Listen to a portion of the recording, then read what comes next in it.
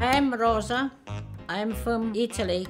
Food is important for you. They keep you going. It's like a put a petrol in a car. If you don't put a petrol in a car, you won't go.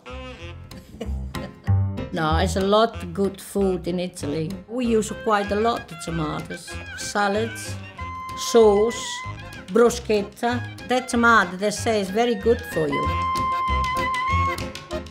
The homemade food is the best in the world well, if you can make it yourself.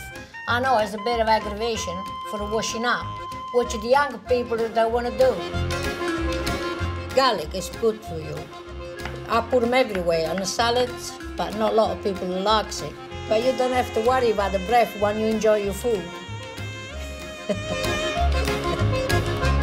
we eat a lot of vegetable, course, with olive oil. It's very, very good for you. Lots of fruits. Don't eat a burger. Because if you use uh, good stuff, everything natural is healthy. Nice, yeah, it's lovely. Tässä on muut varmaan.